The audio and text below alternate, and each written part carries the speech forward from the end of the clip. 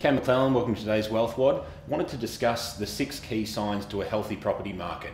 Now, there's additional factors that need to be taken into account, but these are some of the core ones that you need to be able to identify with.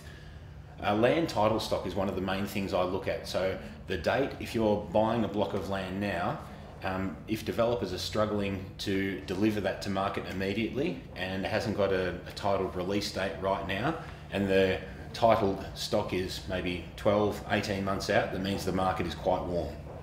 The media starts reporting positive news on the market. In some ways, the media are the final influencers on a market. So they usually get onto a market increase or decrease after it's occurred. But uh, newspapers and the media report on two things boom or doom. They don't come in and uh, doesn't sell newspapers to report that the market is gently ticking along. So in some ways, they can influence the back or the start of a market increase or decline.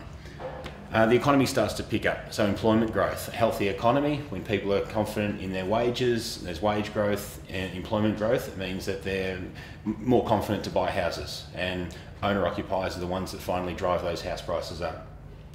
Developers and government buying incentives are being phased out or reduced. Uh, rents are on the rise and as you know, it's easy to tell multiple offers on properties the second they're listed. You know, there's a hot market at that point in time. So, once again, identifying with one of these is not enough. Identifying with multiple of these gives you a good indication on what position of markets at that point in time.